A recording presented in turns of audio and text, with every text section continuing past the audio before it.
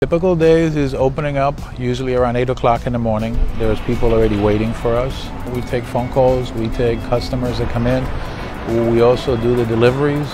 More than likely we'll be invest in some of the equipment we have, maintaining and upkeeping the, the equipment. I've always had an appreciation for the men and women in uniform. Thank you for what you're doing for them and my hat's off to them and for you guys for doing what you're doing for small businesses.